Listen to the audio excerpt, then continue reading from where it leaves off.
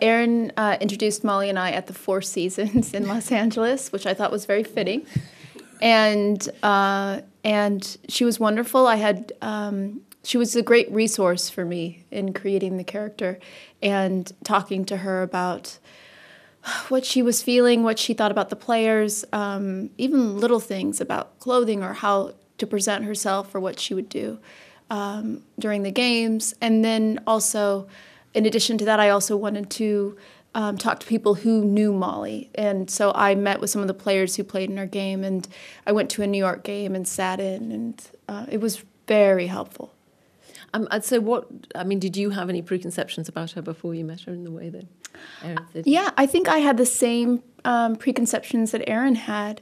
You know, I Googled her and then I noticed that I was starting to kind of have this judgment against her. Um, you know, I was watching some interviews and I saw some journalists not be so nice to her, and I was thinking, okay, I wonder, you know, what her what her goal is in, in all of this.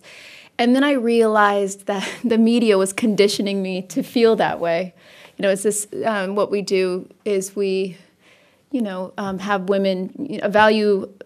A woman is most valuable for her uh, sexual um, attractiveness, and then um, and then the media tears her down afterwards. For me, it was very much a Kardashian story.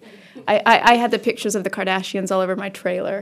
Um, in the sense, I was thinking of who are the most powerful women in our society, uh, in this society we live in, and how did they get their power? And for me, it was the Kardashians.